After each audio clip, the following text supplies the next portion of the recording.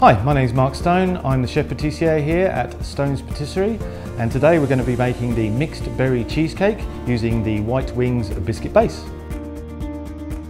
We're going to beat the cream cheese and the sugar together until it's nice and smooth and creamy. While we're waiting for the cheesecake to mix, we're going to make the base for the cheesecake with the 150 grams of White Wings biscuit base and 30 grams of melted butter. And place into the mould, push down with the end of a rolling pin until it's nice and flat.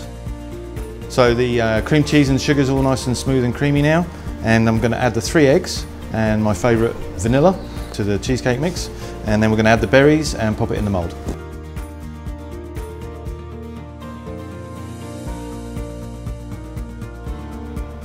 Now you can use frozen berries if you wish, but I always like to use fresh seasonal fruit.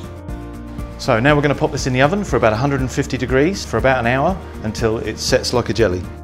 And we take it out of the oven and we let it cool. Slip the ring off. And then just glaze it with a apricot nappage glaze and then we're ready to go. And there we have it, the mixed berry cheesecake. Beautiful and colourful on top and perfectly cooked.